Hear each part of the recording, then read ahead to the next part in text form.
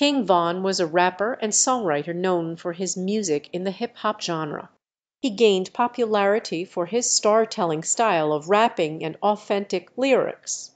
King Von was born in Chicago and started his music career in 2018.